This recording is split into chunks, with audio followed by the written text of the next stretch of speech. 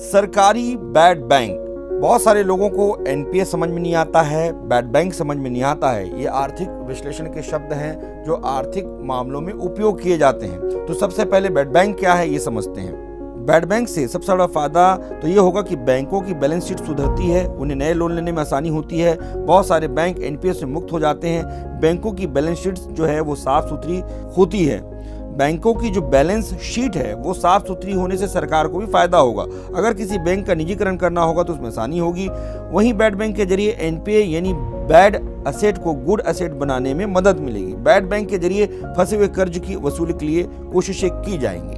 अब एनपीओ को समझते हैं। भारतीय रिज़र्व बैंक के नियमों के अनुसार जिस संपत्ति से बैंक की कोई कमाई नहीं होती, उसे एनपीए कहा जाता है। हालाँकि इसके लिए 180 दिन की सीमा तय की गई है, यानी अगर किसी लोन की किस्तें 180 दिन से अधिक तक नहीं आती हैं तो वह लोन एनपीए की श्रेणी में चला जाता है। अगर मौजूदा समय की बात करें तो देश के बैंकिंग सिस्टम में करीब 8.5 फ़ीसदी एनपीए है, और रिज़र्व बैंक ने अनुमान लगाया है कि मार्च तक बढ़कर 12.5 फ़ीसदी तक पहुँच सकता है, क्योंकि कोरोना काल है। पिछले साल 2020 से 2021 तक देश ने बहुत कुछ देखा है, इसलिए ऐसी स्थितियाँ निर्मित हो रही हैं। बैंक के फंसे हुए कर्ज यानी एनपीए की समस्या से निपटने के लिए सरकार ने बैड बैंक का आइडिया दिया था। वित्त मंत्री निर्मला सीतारमण ने वित्त वर्ष 2021-22 के बजट को पेश करते हुए असेट रिकंस्ट्रक्शन कंपनी यानी बैड बैंक की घोषणा की थी।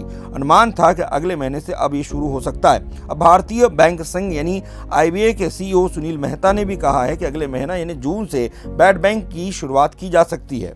बैड बैंक एक तरह की असेट रिकंस्ट्रक्शन कंपनी होती है, जिसका काम ये होता है कि बैंकों के फंसे हुए कर्जों यानी एनपीओ को टेक ओवर करे। बैड बैंक किसी भी बैड असेट को गुड असेट में बदलने का काम करता है।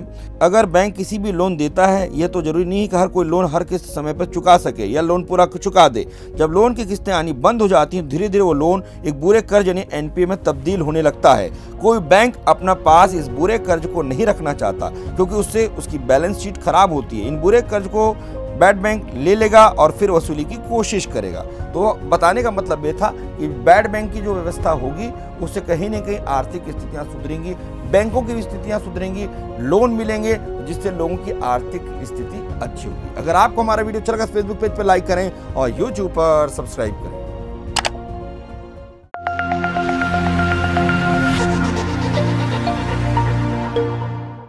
खबर भी, सरोकार भी, हर कदम हर डगर, हर मोर्चे पर तैयार भी। पक्ष हो या विपक्ष, बात वही जो है सच।